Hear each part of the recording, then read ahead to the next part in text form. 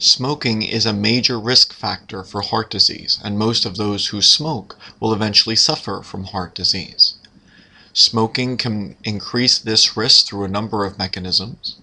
Exposure to cigarette smoke, even secondhand smoke, can increase atherosclerotic changes in the blood vessel walls of adults, children, newborns, and even fetuses.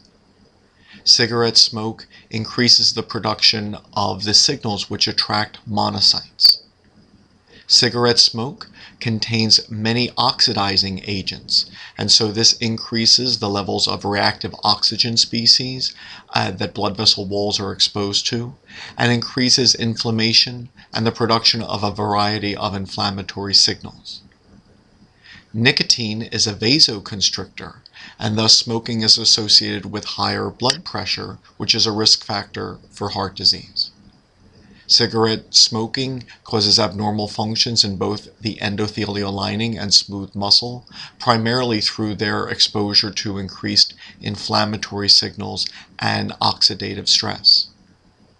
Smoking can increase fibrinogen concentrations and increase the risk of clot formation, and can cause a number of other mutations which can worsen atherosclerosis.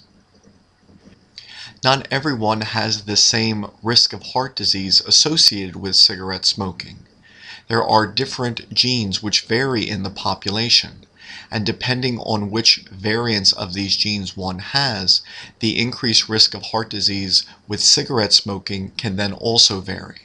For example, different alleles of ApoE and the enzymes of the GST group which detoxify cigarette smoke these different alleles can be associated with different risk of uh, heart disease among smokers.